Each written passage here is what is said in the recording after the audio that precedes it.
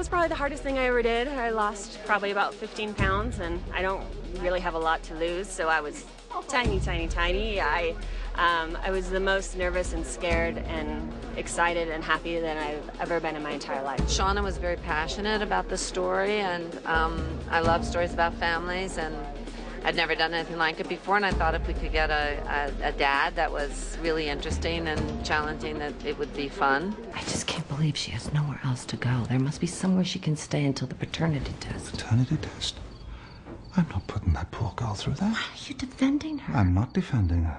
I just don't see why she would make something like this up. Because she's 18 and broke. Oh, I can't deal with this. I just can't deal with this. When you have somebody as bright and as brilliant and as passionate as Shana, then you just give them their space and let them get on with it. I'm kind of freaking out right now.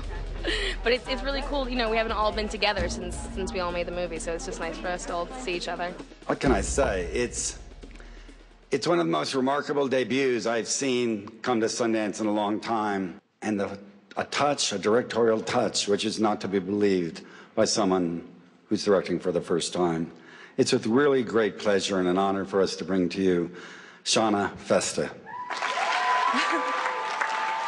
Um, thank you so much, God. I, I told myself I wouldn't cry, and I'm going to start crying. So I'm going to make this so quick because I'm so terrified and so nervous and so incredibly honored and um, humbled. And I just thank you, Geoff Gilmore. Thank you to Sundance for having us. We couldn't be happier to be here. Thank you.